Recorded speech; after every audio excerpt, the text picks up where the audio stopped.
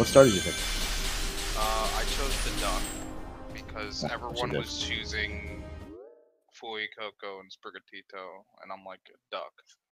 Duck. I was on Team Duck, but then I saw what Sprigatito looked like, and I'm like, I'm horny. Well, when aren't though? Yeah, but like.